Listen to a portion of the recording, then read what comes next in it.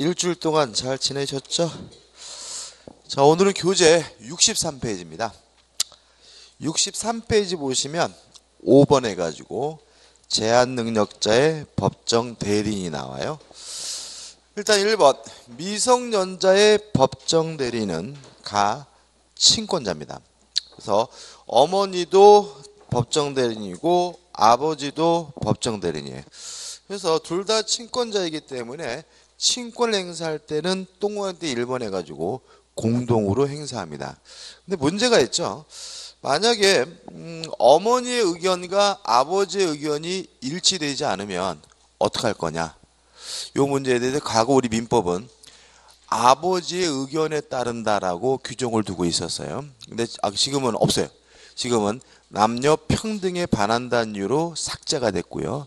이제는 만약에 어머니와 아버지의 의견이 다른 경우에는 내용이 나와 있죠. 가정법원에서 어, 의견을 먼저 결정하도록 하고 있습니다. 아무튼 미성년자의 법정 대리는 어머니, 아버지, 친권자고 친권은 공동으로 행사해야 되고요. 의견이 일치되지 않는 경우에는 가정법원이 정하게 된다는 거 기억해 두시기 바랍니다. 근데 문제는 이번에 가지고 친권자의 권한 행사에 대한 제한이 있어요. 이런 문제입니다. 예를 들어 가지고 어, 갑이라는 사람이 있는데 얘가 예를 들어서 15살 먹은 꼬마고 사람이고 을이 친권자로서 법정 대리인이에요. 근데 만약에 요 갑이 어, 아파트를 사고 싶어요.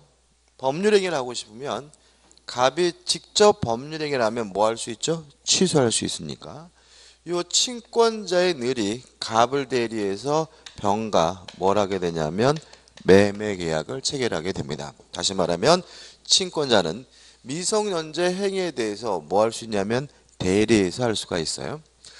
근데 문제는 이런 경우는 굉장히 상관이 없는데 갑이 아파트를 가지고 있어요. 이 아파트를 친권자의 늘이 갑으로부터 살려고 해요. 그러면 이때는 친권자의 대리권이 뭐가 되냐면 제한이 돼요. 왜 그러냐면 갑과 을의 이해가 상반되죠.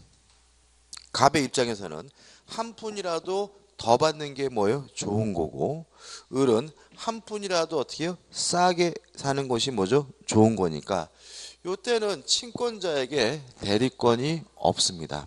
이때는 별도로 특별 대리인을 선임해서 특별 대리인과 뭘 해야 돼요? 거래를 해야 된다라고 제한을 두고 있음을 주의하시기 바랍니다. 물론 특별 대리는 누가 선임하겠죠? 법원에서 선임합니다. 그래서 만약에 아, 미성년자인 아들의 재산을 뭐 구입하거나 사거나 할 때는 직접 매매 계약을 하면 안 되고요. 법원에다가 특별 대리인 선임을 선청해서 그 사람과 매매 계약을 통해서만 구입할 수 있다는 거 좀 주의하시기 바랍니다. 그다음에 4번 후견인이에요. 친권자가 없을 수가 있죠. 그죠? 어머니도 없고 아버지도 없으면 그때는 누가 법정 대리인이 되냐면 후견인이 법정 대리인이 됩니다. 그래서 법정 대리인이 순서가 있는데 일단 지정 후견인이 어, 제일 우선해요. 그러니까 예를 들어 가지고 뭐 어머니가 돌아가시면 남아 있는 아버지가 뭐가 돼요? 친권자가 되겠죠. 근데 아버지가 마지막에 돌아가시면서 예를 들어서 동생한테 네가 네 조카 좀 잘 좀 어떻게 좀 해줘라 이렇게 지정을 하면 누가 후견이 되는 거죠? 동생이 후견이 되는 거죠. 이게 뭐예요? 지정 후견인이고 만약에 교통사고 등을 당해서 돌아가시는 바람에 지정을 할 수 없다면 그때는 법정 후견인 해가지고 직계혈족 직계혈족이니까 뭐죠? 어, 할머니 할아버지 지키면 되겠죠. 또는 삼촌 이내의 반계혈족 이런 순서로서 뭐가 되는 거죠? 후견인이 되고요. 만약에 이러한 아, 친족도 없다면 그때는 누구도 후견이 되냐 누가 하냐면 법원에서 선임만 뭐가 돼요? 선임 후견이 되는 거죠. 저는 이 부분만 보면 기억이 나는 게 최진실 씨 사건이 기억이 나요. 그죠? 최진실 씨하고 조성민 씨인가요? 그죠? 그 다 자살하셨죠, 그죠? 진짜 그 흑역사인데 두 분이 이혼하면서 조성민 씨가 친권을 포기했죠. 그리고 이제 누구만 친권자예요? 최진실 씨만. 근데 최진실 씨가 뭐예요? 돌아가셨단 말이죠. 그럼 만약에 최진실 씨가 만약에 돌아가시면서 그 남동생이 있었죠? 그, 그분도 자살했죠, 그죠? 그분한테 만약에 조카 좀 부탁한다 그랬으면 그 남동생이 뭐가 돼요? 지정 후견인이 되는데 만약에 그러지 않았다면 이제 누가 후견이 되는 거죠? 직계혈족이니까 할머니. 그죠? 외할머니가 후견인이 되는 거죠. 그래서 현실적으로 그 집은 누가요? 외할머니가 후견이셨고 아마 그 아이들도 이제 다 컸겠죠. 그죠? 다 컸을 것 같아요. 그죠? 전에 한번 인터넷 보니까 거의 성인 다 됐던데 아무튼 이런 식으로 후견인이 결정이 됩니다. 그 다음에 2번 피한정 후견인과 피성년 후견인의 법정 대리인이 나오는데 갑은 그냥 후견인입니다. 다시 말하면 피한정 후견인과 피성년 후견인은 친권자가 없겠죠. 다 이 사람들은 뭘 말해요? 성년자를 말해. 다시 말하면 만약에 이 사람이 미성년자라면 굳이 성년 후견 개시할 필요가 없고요. 굳이 한정 후견 개시할 필요가 없거든요. 그래서 일반적으로 피한정 후견인이나 피성년 후견인은 누구를 대상으로 하는 거죠? 성년자를 대상으로 하니까 누가 존재하지 않아요? 친권자가 존재하지 않고요. 따라서 누가 법정되는 거죠? 바로 법원이 아 뭐 후견인이 법정 대리인이 되고 주의하실 것은 가번의 후반 보시면 후견인은 가정법원이 직권으로 뭐 한다고요? 선임한다 이렇게 나와 있죠. 다시 말하면 어, 청구에 구속되지 않습니다. 다시 말하면 후견 개시 선고를 청, 신청하면서 요 사람은 후견인으로 지정해 주십시오라고 청구자가 뭐죠 정했다 하더라도 법원은 그에 구속되지 않고 직권으로 자유롭게 누구를 정할 수 있죠? 후견인을 정할 수 있죠. 기억나시나요? 저번 주제 이런 말씀드렸죠. 신격호 회장이 한정 후견인이 됐다 그랬죠. 근데 여동생이 배우자와 아들 딸을 뭐죠 후견인으로 지정해 달라고 뭐죠 청구한 것에 대해서 법원은 누구를 후견인으로 정했어요? 법률 사무소를 뭐요 후견인으로 뭐요 정했다. 이런 것이 가능한 이유는 후견인은 법원이 어떻게요? 직권으로 임의적으로 정할 수 있기 때문에 그렇다는 거 주의하시기 바랍니다. 그 다음에 4번 후견인의 권한 행사에 대한 제한 이렇게 나와 있는데 이거 좀 생각을 좀 해보자고요.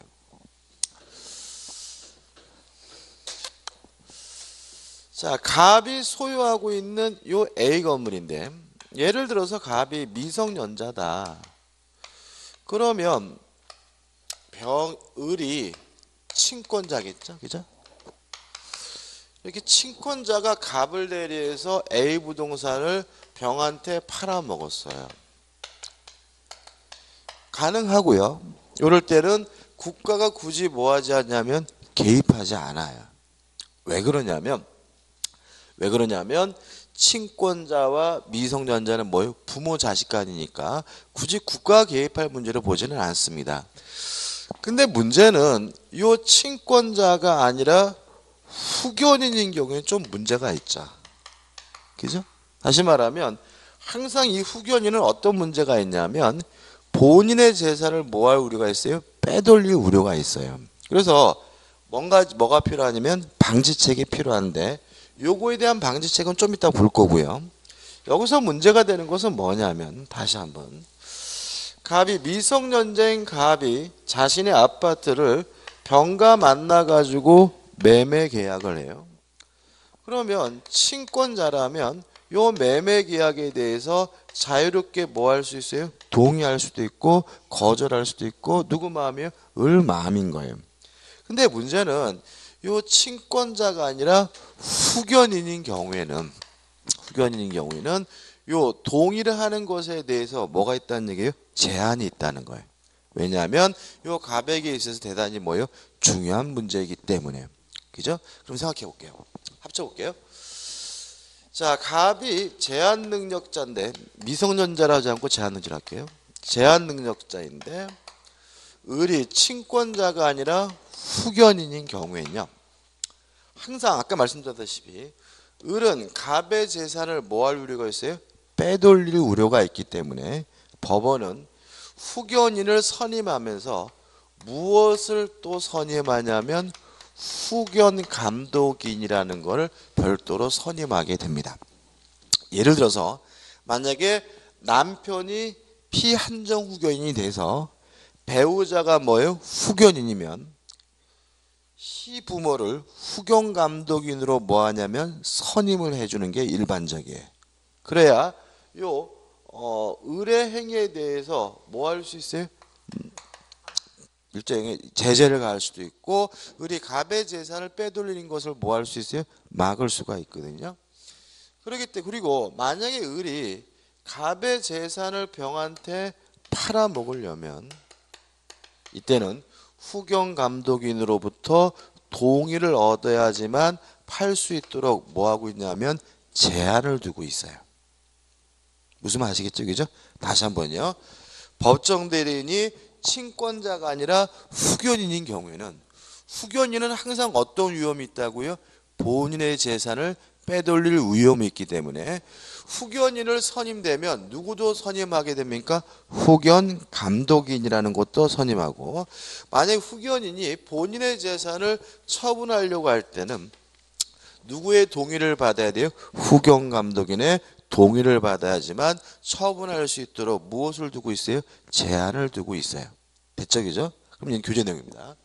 따라서 만약에 미성년자가 부동산을 처분하는 것 같은 매매 계약에 대해서 동의를 하려면 이때 후견인은 누구의 동의가 필요한 거죠?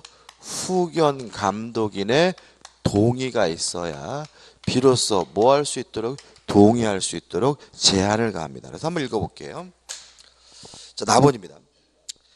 후견인이 피후견인을 대리하여 다음에 해당하는 행위를 하거나 미성년자의 다음 각호의 어느 하나에 해당하는 행위에 무엇을 하려고 할 때는요 동의를 하려고 할 때는 후견 감독이 있으면 그의 동의를 뭐예요 받아야 한다 이해되시죠 이해되시죠 그죠 그러면 뭐가 있느냐 여러 가지가 있어요 1.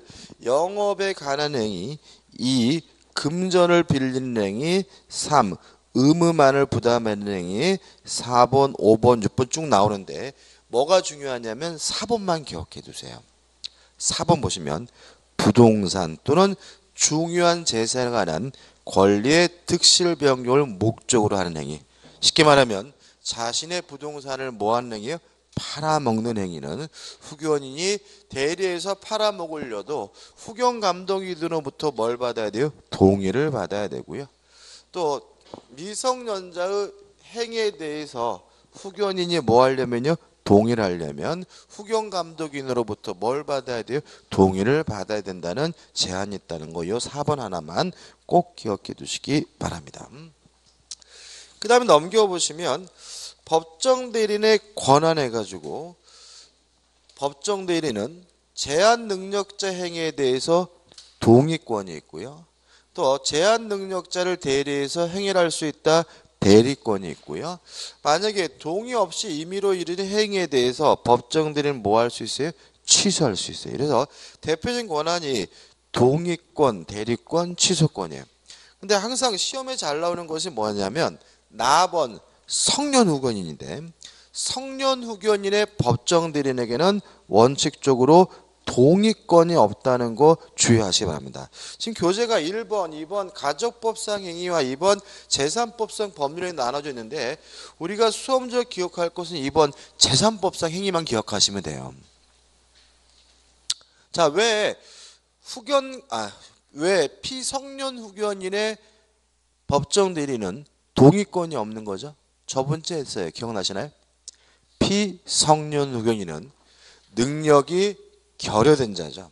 따라서 이 사람은 동의를 얻어서 행위라든 동의를 받지 않고 행위라든 무조건 뭐 할 수 있어요? 취소할 수가 있죠. 다시 말하면 피성년 후견인의 법정 대리는 피성년 후견인의 행위에 대해서 뭐 할 수 없습니까? 동의할 수가 없어요. 동의해봤자 뭐 할 수 있는 거예요? 취소할 수가 있는 거죠. 그죠? 기억나시나요? 그죠? 다시 한번. 자, 제한능력제 법정 대리는 동의권도 있고 대리권도 있고 취소권도 있는데 피성년 후견인의 법정 대리는 무엇이 없다고요? 동의권이 없다. 왜냐하면 피성년 후견인은 동의를 얻어서 행위를 했든 동의를 안 얻고 행위를 했던 그 행위는 무조건 뭐 할 수 있기 때문에 취소할 수 있기 때문이라는 거 꼭 기억해 두시기 바랍니다. 그 다음에 4번 후견감독인이 나오죠. 자 후견 감독인은 안 읽어볼 건데 왜 둔다고요? 후견인을 뭐 하기 위해서요? 견제하기 위해서. 따라서 아까 봤던 일정한 행위에 대해서는 후견인이 동의하거나 대리하려면 후견 감독인으로부터 뭘 받아야 돼요? 동의를 받아야 되고 일정한 행위 가장 중요한 행위가 뭐라고요? 부동산 등을 처분하는 행위에 대해서는 후견 감독인의 뭐가요? 동의가 필요하다는 거 기억해 두시면 되겠죠. 끝입니다. 그 다음에 3번 제한 능력자의 상대방의 보호가 나와요. 자 이런 문제입니다.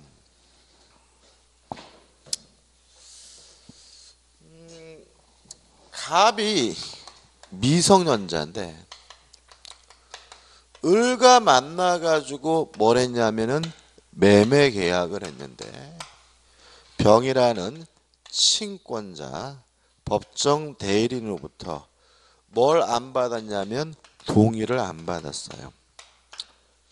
그러면 요 매매 계약은 동의가 없었다는 이유로 미성년자도 취소할 수 있고 법정 대리인도 뭐 할 수 있어요? 취소할 수 있죠. 그럼 결과적으로 요 미성년자 거래한 을 상대방이 뭘 보게 돼요? 피해를 보게 되는 거죠.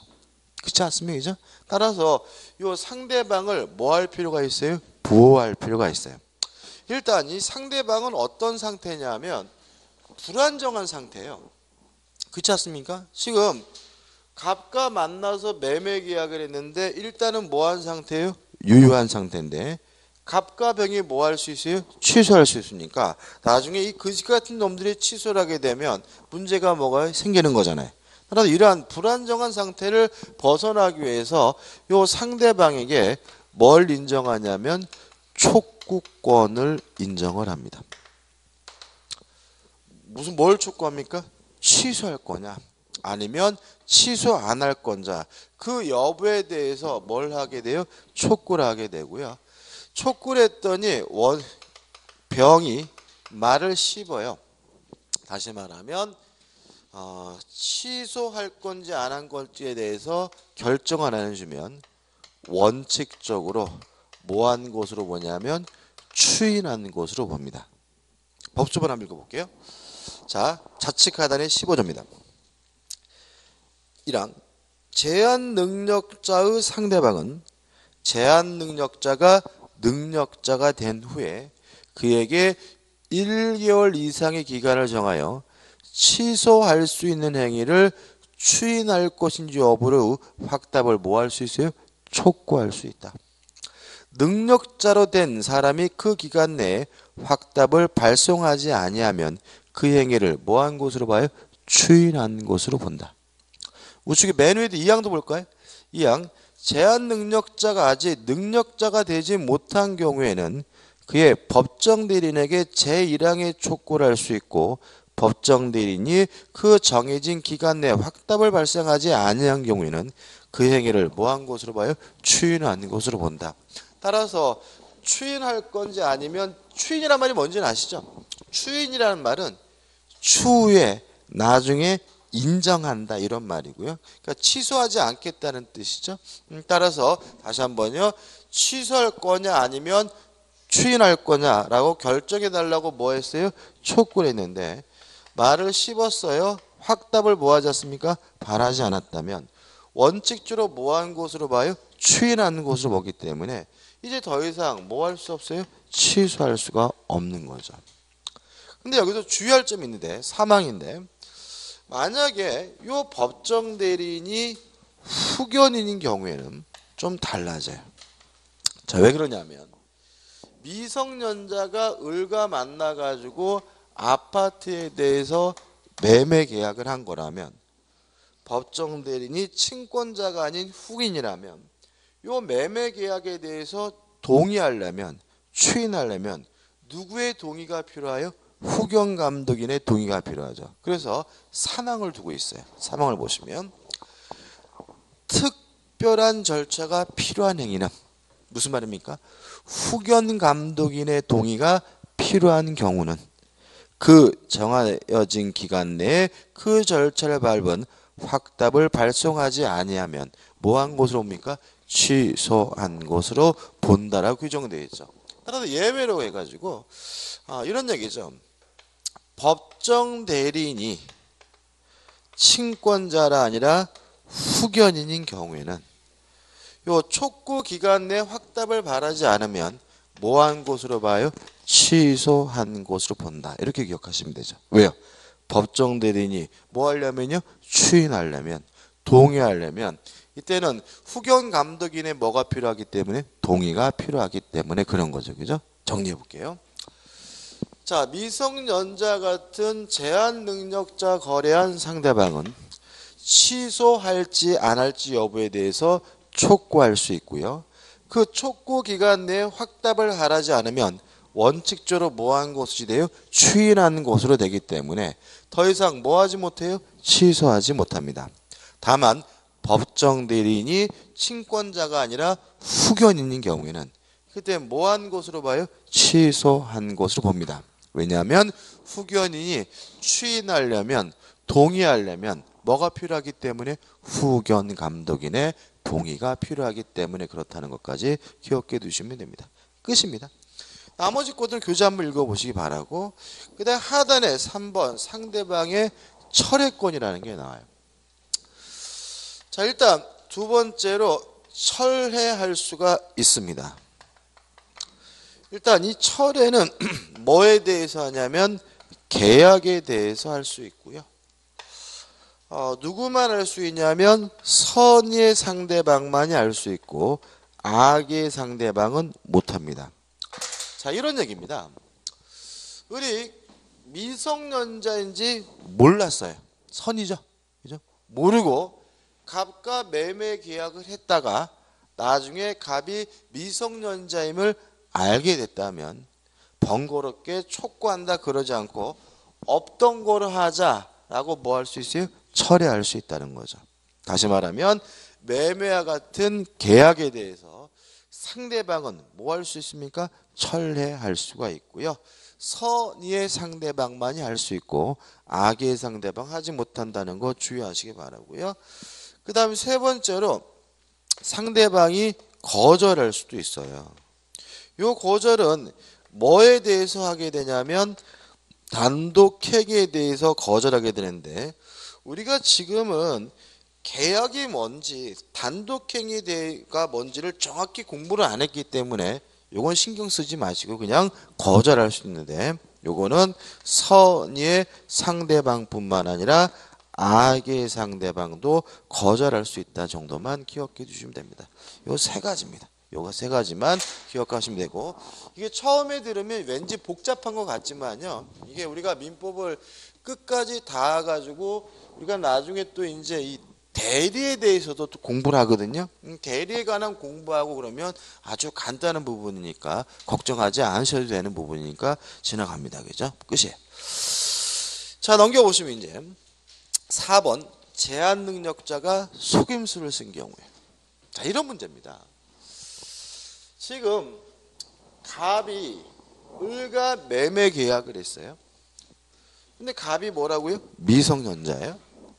그러면 왜 미성년자고 매 계약을 했냐면 요 거지 같은 놈이 뭘 했냐면 을에게 속임수를 썼어요. 예를 들어서 아우 저 지금 22살이에요.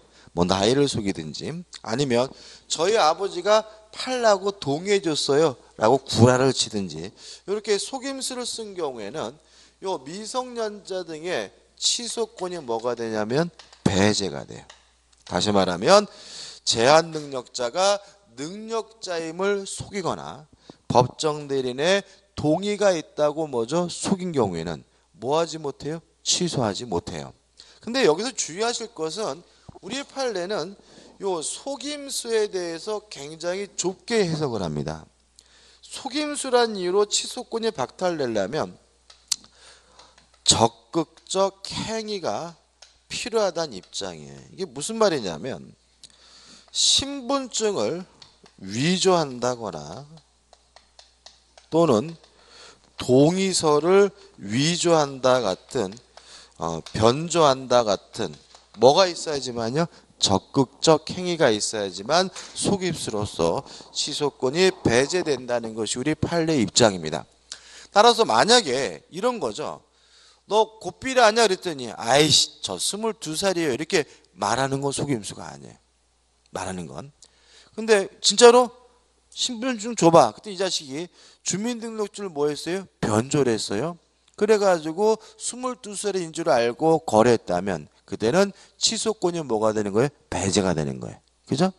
아버지한테 동의받았어요. 라고 하길래 믿고 거래한 건 이거는 뭐예요? 속임수가 아니에요.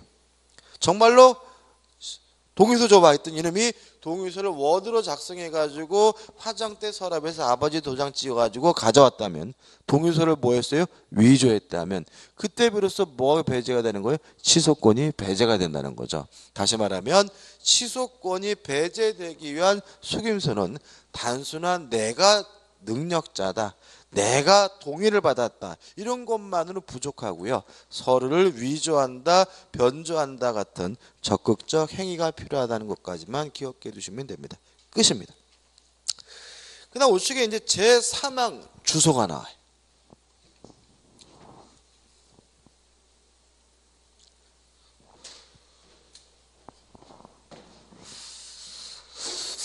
일단 여기서 우리가 주소에 대해서 조심할 점은 주민등록증은 주소가 아닙니다. 주민등록증은 뭐가 아니에요? 주소가 아니에요. 그래서 우리가 보통 주소 적으라고 하면 어딜 적어요? 주민등록증을 적는데 그건 잘못된 태도예요. 그럼 주소가 뭐냐? 주민등록이 어디 되어 있느냐? 이게 중요한 게 아니라 생활의 근거가 되는 생활의 중심이 되는 장소를 우리가 주소라고 합니다. 그래서 예를 들어서 제가 만약에 어, 주민등록은 서울에 되어 있지만 대전에서 생활하고 있다면 저의 주소는 서울이 아니라 어디에 대전인 거예요. 그래서 생활의 중심이 되는 장소가 뭐예요? 주소예요. 근데 문제는 이렇게 생활의 근거가 되는 장소가 주소다 보니까 여러 곳일 수 있죠. 그죠? 예를 들어 제가 일주일에 한 3, 4일은 서울에서 생활하고 일주일에 한 3, 4일은 어디에서요? 대전에서 생활하고 있다면 저의 주소는 서울과 대전 두 곳이 돼요. 그래서 우리 민법은 주소가 여러 곳일 수 있다 그래서 우리 민법은 뭘 채택하고 있냐면 복수주의를 채택하고 있어요. 다시 말하면 주소는 생활의 근거가 된다면 한 개일 수도 있고 여러 개일 수도 있고 수개일 수 있어요. 그 다음에 주의하실 것은 만약에 주소를 갖기 위해서 일정한 주관적 의사가 필요한가 이 문제에 대해서 만약에 주소를 가지기 위해선 주관적 의사가 필요하다라고 한다면 우리가 저번째 했던 의사 무능력자는 주소를 가질 수 없다라는 문제가 생기죠. 의사 무능력자라 하더라도 반드시 뭐는 있어야 돼요? 주소는 있어야 되거든요. 따라서 우리 민법은 주관적 의사는 필요가 없다라는 게 우리 민법의 태도예요. 자, 이게 전부입니다. 자, 주소가 뭐냐? 주민등록지를 말하는 것이 아니라 생활의 근거가 되는 장소는 다 뭐요? 주소다. 이거 우리가 뭐라 하냐면 실질주의라고 하고요. 그래서 교재 보시면 아, 1번 주소에 관한 뭐라고요? 실질주의 이런 말이 나와 있고 그 다음에 여러 곳일 수 있다 이게 뭐예요? 복수주의고 그 다음에 주관적 의사는 필요 없다 이게 뭐냐면 객관주의가 되는 거죠. 그럼 다시 한번 정리해 볼게요. 자, 생활의 근거가 되는 주소가 주소이지. 뭐가 아닙니까? 주민등록지가 주소가 아니고요. 또 주소는 뭐일 수 있어요? 여러 곳일 수 있고요. 그 다음에 주관적 의사는 필요가 없으니까 누구도요? 의사, 무능력자도 뭐는 가질 수 있어요? 주소는 가질 수가 있다는 거죠. 자, 근데 문제는 뭐냐면 하단에 보시면 거소가 나오고 넘겨 보시면 또 이제 뭐가 나오냐면 현재지가 나와요. 저를 예를 들게요. 저는 그 일주일에 한 번씩 오늘이 무슨 요일이죠? 수요일이죠? 수요일 날 대전에 와서 뭐만 해요? 수업만 해요. 수업만 하죠. 그죠? 그럼 저는 대전이 어디냐면 그냥 현재지인 거예요. 다시 말하면 그냥 아무런 생활과 관련이 없이 뭐 하고 있어요? 있는 곳. 그런 곳이 뭐예요? 현재진 거죠. 예를 들어 제가 만약에 제주도로 여행을 갔으면 현재지는 뭐가 되는 거예요? 제주도가 되는 거죠. 그죠? 그래서 그냥 있는 곳이 뭐가 돼요? 현재지인데 요 중간에 뭐가 있냐면 거서라는 게 있는 거예요. 장소적 밀접도에 따라서 이런 얘기입니다. 예요. 오해하지 마세요. 제가 예를 들어서 예를 들어서 대전 부근에서 수업을 한 이틀 해요. 그래서 매번 왔더래 갔더래 하니까 기름값도 많이 들고 너무 힘들어요. 그래서 제가 요 근방에다가 원룸을 하나 잡았어요. 그럼 저는 그냥 일주일에 뭐요? 한 번씩 와서 뭐요? 자는 정도죠. 그죠? 근데 현재지는 아니잖아요. 또 주소도 아니죠. 이게 뭐가 되는 거예요? 거소가 되는 거죠. 그래서 단순히 머물고 있는 곳은 뭐예요? 현재지. 생활의 근거가 되고 있는 장소는 뭐예요? 주소. 그 중간 개념 뭐가 돼요? 거소가 되고요. 민법 규정은 주소가 없으면 거소가 주소가 되고요. 거소가 없으면 뭐예요? 현재지가 주소가 된다는 것이 우리 민법의 태도입니다. 그 다음 마지막으로 4번 가주소라는 개념이 있어요. 자 이런 문제입니다. 제 주소가 서울인데 일정한 거래를 하기 위해서 대전에 내려왔어요. 그래서 일을 하다 보니까 자꾸 주소가 서울이란 점이 너무 불편한 거예요. 그래서 요 거래에 대해서만은 내 주소를 대전으로 하겠다라고 정할 수가 있는데 이렇게 정하면 그 주소가 뭐가 되냐면 가 주소가 되는 거예요. 법좀 읽어볼까요? 어느 행에 있어서 가주소를 주소로 정한 가주소를 정한 때는 그 행에 관하여는 이를 뭐로 봐요? 주소로 본다. 그죠? 다시 말하면 일정한 거래에 대해서는 별도로 뭘 정할 수 있어요? 주소를 정할 수가 있는데 이 주소가 뭐가 돼요? 가 주소가 된다 정도만 기억해 두시면 됩니다. 그 다음에 제4항 해가지고 부재와 뭐가 나오냐면 실종이 나와요. 여기 좀 중요합니다. 부재와 실종도 시험 문제를 반드시 두 문제 이상을 내는 부분이죠.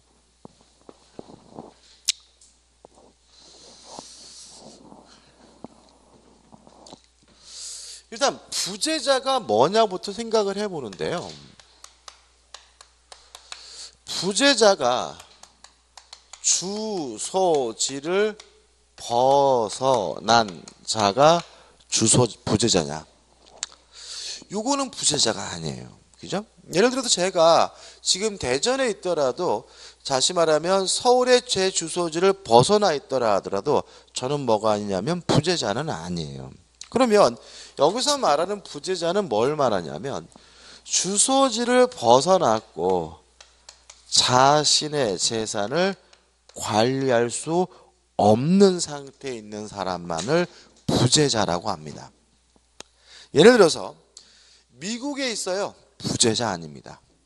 왜냐하면 미국에 있다 하더라도 인터넷이니 전화니 해서 충분히 자신의 재산을 뭐 할 수 있어요? 관리할 수가 있어요. 이 사람은 부재자가 아니에요. 뭐 예를 들면 뭐 이런 건가요? 예를 들어서 남편이 TV 보다가 갑자기 뭐 가나 난민들을 돕겠다고 아프리카 가나로 떠났어요. 그래가지고 가면서 거긴 전화도 없고 그러니까 내가 한 달에 한 번씩 편지할게 이런 상태라면 주소지를 벗어난 정도를 떠나가지고 자신의 재산을 뭐 할 수 없어요? 관리할 수가 없는 거죠. 이런 상태가 되면 이제 뭐가 돼요? 부재자가 되는 거예요. 자, 그럼 여기서 이제 힌트가 나오는 거죠. 자, 부재자는 주소지를 벗어나 가지고 재산을 관리할 수 없는 상태에 있는 사람이 누구예요? 부재자라는 말은 이 부재자의 재산을 관리할 필요가 있는 거죠. 그죠? 근데 만약에 부재자가 주소지를 벗어나면서 재산 관리인을 두고 갔어요. 예를 들어서 가나로 떠나면서 여보 당신이 내 대신 좀 재산 좀 잘 관리해줘. 이렇게 얘기했다면 이제 누가 관리인인 거예요? 부인이 관리인이고 이때는 국가가 굳이 뭐 하지 않습니까? 개입하지 않아요. 나설 필요가 없죠. 왜요? 누가요? 와이프가 재산 관리인이 이 사람의 재산을 뭐 하면 돼요? 관리하면 되는 거니까요. 근데 문제는 이 사람이 주소지를 벗어났고 재산도 관리할 수 없는 상태인데 재산 관리인을 두고 있지 않다면 이제는 누가 개입하게 돼요? 국가가 정확히 말하면 법원이 이 사람의 재산 관리에 대해서 뭐 하게 돼요? 개입하게 되고요. 이게 뭐예요? 부재자의 재산 관리 제도인 거예요. 자, 그럼 생각해 보자고요. 부재자가 누구냐? 주소지를 벗어나서 재산을 관리할 수 없는 상태에 놓여 있는 사람이 부재자고요. 만약에 재산 관리인 자신이 선임하고 떠났다면 국가는 원칙적으로 뭐 하지 않습니까? 개입하지 않고요. 재산 관리인을 선임하지 않은 경우에만 국가가 개입하게 되는데 이게 뭐예요? 부재자의 재산 관리 제도가 되는 거죠. 이게 큰 틀이고요. 교재 일단 보시면 우측에 중간에 2번에서 부재자가 재산 관리를 둔 경우 1번 원칙적 불간섭 이해되시죠? 그죠? 2번 부재자가 둔 재산 관리인의 권한 해가지고 나와 있는데 이 사람이 무엇을 할 수 있는지는 위만 내용에 따르겠죠. 그죠? 떠나면서 여보 당신이 아파트 좀 팔아줘. 그러면 어떻게 해요? 아파트 팔 수 있는 거고. 여보 당신이 임대차 계약 좀 새로 체결해. 그럼 뭐예요? 임대차 계약을 할 수 있는 거죠. 다시 말하면 이 사람이 무엇을 할수 있는지는 재산 관리인 선임 행위로 결정된 문제고 중요한 건 아니고요. 그 다음에 하단을 보시죠. 3번.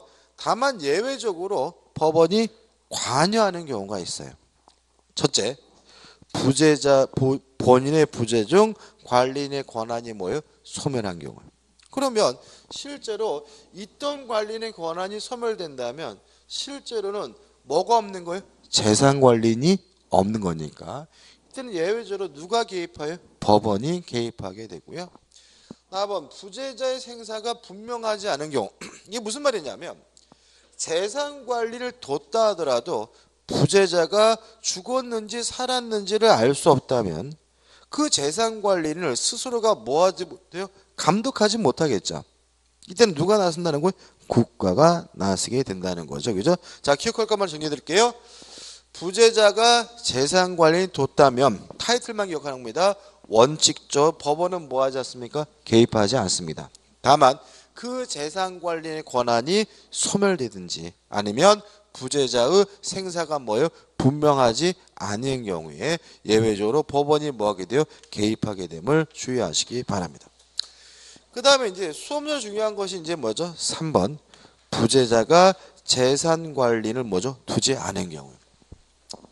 예를 들어 볼게요. 제가요 아파트에 새 들었어요. 임차인인 거죠. 그러죠 아파트를 새로 들었는데 이번 달 말이 임대차 계약이 끝나는 날이에요.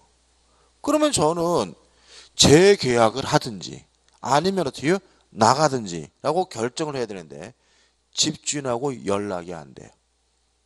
알아봤더니 아파트 가나로 무슨 봉사활동 한다고 떠나버렸대요. 그러면 누가 대신 일을 처리하나 알아봤더니 뭐 재산 관리인도 뭐 하지 않았어요? 선임하지 않았어요. 그럼 저는 어떻게 해야 돼? 법원에다가 법원에다가 재산 관리를 선임해 달라고 뭐 할 수 있어요? 청구할 수가 있어요. 그 다음에 만약에 뭐 그런 문제가 아니라 공익의 대표 누구 돼요? 검사도 법원에다가 재산 관리 선임해 달라고 뭐 할 수 있어요? 청구할 수 있어요. 그래서 가 이해 관계인이나 저는 누굴 예를 들었어요? 임차인. 그죠? 또는 검사의 청구가 있으면 됩니다. 그래서 가정법원에다가 지금 이 사람이 부재자인데 임대차 계약기간 끝나갑니다. 어, 따라서 재계약을 하든지 말든지 해야 되니까 어, 뭐죠? 재산 관리 선임해 달라고 뭐 하게 돼요? 청구하게 되고요. 나번 처분의 내용해 가지고 복잡하게 나와 있지만 법원은 실제로는 재산 관리를 뭐 하게 돼요? 선임하게 되는 거죠. 그다음 2번 법원이 선임한 부재자의 재산 관리인 해 가지고 가 법원이 선임한 재산 관리의 주인은 일종의 뭐가 돼요? 법정 대리인이 된다는 거 좀 기억해 두시기 바라고 우측에 권한이 나와요. 자, 그럼 이런 얘기입니다. 자, 제가 이제 법원에다가 제가 임차인입니다. 이해관계인입니다. 재산관리인 선임해 주십시오라고 했더니 법원에서 저희 동네 변호사를 뭐요? 재산관리를 뭐 해줬어요? 선임해 줬어요. 그러면 그 부재자의 재산관리인이 뭘 할 수 있는지를 이제 우측에 나오는데 이 부재자의 재산 관리인이 뭘 할 수 있는지는 우리 민법 118조에 의해서 결정이 돼요. 요 민법 118조는 굉장히 중요한 조문입니다. 그래서 나중에 또 한 번 더 보게 되는데 다시 한번요. 부재자의 재산 관리인이 뭘 할 수 있는지 권한의 범위는 무엇에 의해서요? 118조에 의해서 결정이 되는데 118조에서 뭐라고 해놨냐면 가능한 거죠. 가능한 것이 뭐냐면 첫째 보전행위 할 수가 있고요. 두 번째 성질이 변하지 않는 범위 내에서 이 재산 관리는 이용행위도 할 수 있고 계량행위도 할 수 있다라고 규정을 두고 있습니다. 그러면 이 사람이 뭘 못하느냐? 두 번째 불가능한 걸 알 수 있는데 보존행위와 이용행위와 계량행위를 할 수 있기 때문에 뭘 못하냐면 처분행위는 못합니다. 그 다음에 두 번째로 성질이 변하지 않는 범위 내에서 이용, 계량행위를 할 수가 있으니까 결국은 역으로 말하면 성질이 변하는 이용행위 할 수 없고 계량행위도 뭐죠? 할 수가 없습니다. 따라서 만약에 이 부재자의 재산관리인이 처분행위나 성질이 변하는 이용, 계량행위를 하려면은 이때는 법원의 허가를 얻어야 하고요. 만약에 법원의 허가 없이 한 행위는 뭐가 되냐면 무효가 된다는 것이 우리 판례 입장입니다. 자, 이런 얘기죠. 자, 부재자의 재산 관리는 보존 행위는 할 수 있어요. 요 보존 행위를 하고자 할 때 법원으로부터 뭘 받을 필요 없어요? 동의 같은 거 받을 필요가 없는 거죠. 근데 처분 행위 가장 대표적인 거 부재자의 아파트를 팔아먹으려고 해요. 그럴 때는 어, 당연히 무엇이 필요한 거죠? 법원의 허가가 필요한 거죠. 만약에 법원의 허가 없이 이루어진 처분행위라면 그 처분행위는 뭐가 돼요? 무효가 되는 거죠. 그죠? 다 했고요. 그럼 마지막으로 임대차는 가능한 경우에요? 불가능한 경우에 가능한 경우라는 거죠. 자, 왜냐하면 아파트를 임대하는 것은 처분행위가 아니라 이용행위고요. 아파트를 임대한다 그래서 그 아파트 성질이 뭐 하잖아요? 변하지도 않거든요. 그래서 교재 보시면 뭐가 보존행위고 뭐가 이용 계량행위인지 얘가 나와 있는데 얘들 외우지 마시고요. 쉽게 알 수 있는 거고 뭐는 꼭 기억해 두시냐면 임대는 꼭 기억해 두시 기 바랍니다. 왠지 본인의 아파트를 임대하는 것은 뭐 하지 못하는 거예요? 할 수 없는 것처럼 느껴질 수가 있기 때문에 꼭 기억해 두세요. 다시 말하면 부재자의 재산 관리는 보존행위와 이용행위, 계량행위 다시 말하면 성질이 변하지 않는 범위 내에서 이용, 계량 행위를 할 수가 있는데 본인의 부동산을 임대하는 것도 뭐에 포함하죠? 이용 행위에 포함되고 가능하다는 거꼭 기억해 두시고요. 그 다음에 처분행위와 성질이 변하는 이용 계량행위는 뭐 하지 못해요? 할 수 없고 하려면 뭐가 필요하죠? 법원의 허가가 필요하고 법원의 허가 없이 이루어진 행위는 뭐예요? 무효다까지 꼭 기억해 두시기 바랍니다. 아주 시험을 잘 내는 내용입니다. 이러한 내용이 72페이지까지 복잡하게 나와 있지만 우리가 11월, 12월 달은 기초 강의이기 때문에 여기까지만 기억하시면 되겠죠. 여기까지만 기억하시고 지엽적인 것은 뭐죠? 안 들어갈 거예요. 아, 70페이지 하단에 보시면 이제 뭐가 나오죠? 재산 관리 종류해 가지고 나와 있는데 한번 이것도 읽어 보시면 될 것 같고 우측에 기본 예조 해 가지고 작년도 시험 문제 나와 있죠. 한번 풀어 볼게요.